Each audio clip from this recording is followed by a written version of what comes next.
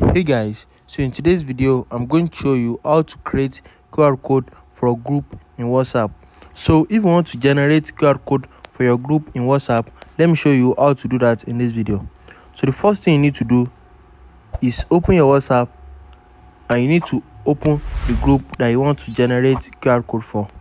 Once you open the group just click on the group contact info and you need to make sure you are part of the admin of the group. So just make sure you are part of the admin and you'll be able to do this.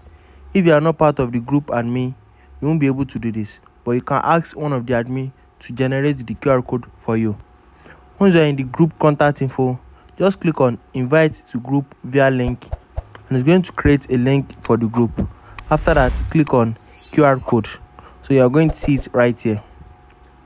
Once you click on qr code whatsapp is going to generate qr code for the group. So people can scan this qr code to access the group. So if you share this qr code to people and you don't want them to access your group with the qr code again you can just click on reset qr code and they are going to generate a new qr code for you. So guys can you see? It is very easy.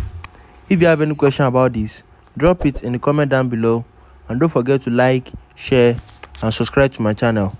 Thanks for watching guys